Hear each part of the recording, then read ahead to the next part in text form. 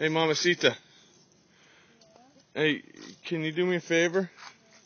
It's it's about almost 60 degrees. It's 50 something degrees, right? I'm not right. I got a question for you, honey. What's that stuff right there? What is it? I couldn't hear you. No. Oh, hey, is there more stuff of that over there? Yeah, it's everywhere. Hey, there's snow there. What, what is going on? It's bizarro world. There's snow over. It's all over the place. Oh man. Oh, All right, I love you. See you later. See you later. She meant to say out.